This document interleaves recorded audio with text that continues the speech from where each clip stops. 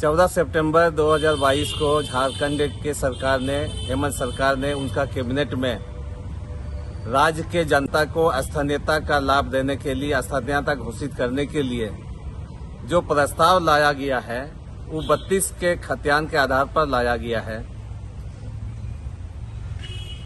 झारखंड में जो खतियान किसी के पास में चौसठ का भी है, पैंसठ का भी है, सत्तर का भी है।